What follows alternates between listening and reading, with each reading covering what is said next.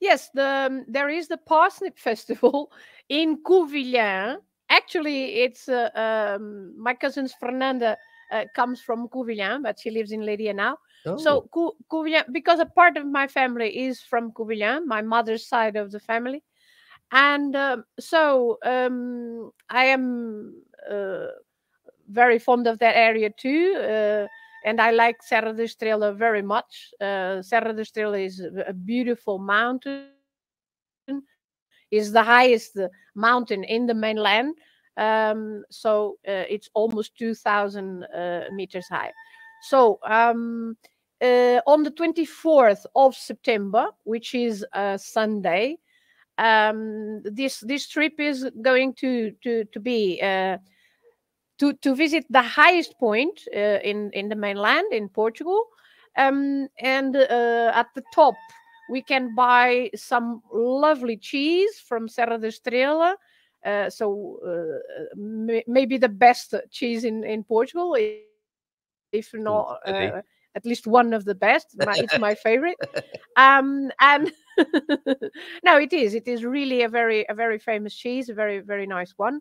Um, and you can have um, you know you can buy cheese, you can buy other local products like for example uh, any coats for the winter because um, of course uh, there are lots of sheep in the mountain um, and so woolen products so for example a lovely uh, j- jumpers and that that is your woolen your woolen hat that i also given you. Yes.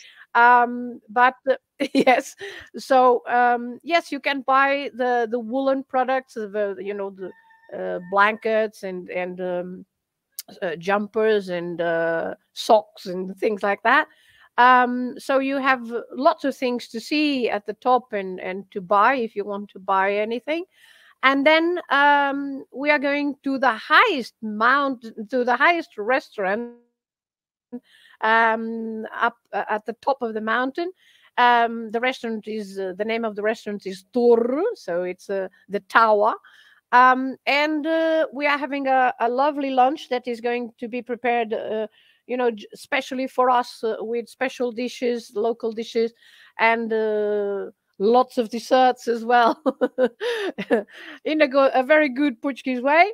And um, so and then after after that we come to we come down to Covilhã uh, um, and then in the city of Covilhã we are going to visit the parsnip festival. So you can see also lots of um, different recipes with with parsnip and um, there is music going on and the stalls to visit so we have lots of things to to see as well That's and wonderful. then come back uh, uh, in the afternoon And people need to book this by the end of the month as well. At- Um, Uh, yes, yeah. at least uh, yes, uh, because uh, because of the bus, because um, uh, uh, the bus has to to know. I have to know for sure Yeah. if uh, if I need to hire the bus or not. Yes, so I need to know. I'm sure Pete will tell you going on, uh, and Andy as well. Anyone who's been on a Filomena tour um, will tell you how much fun it is. Pete is meeting us there. Pete is meeting us in Covilhã because he, he, he lives quite near.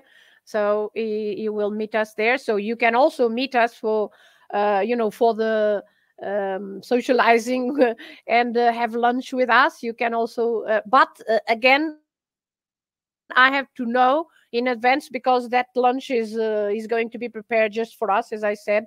So I, I need to know how many people are going and uh, and uh, and decide, uh, um, you know, uh, the the details. Mr. S loves it up there. And I, I so what I would urge people to do is if you're interested in this, just commit. Uh, let let Filomena know trips of Brits at gmail.com so that she can get it all sorted out. I get a bus load up there and have some great fun eating the wonderful cheese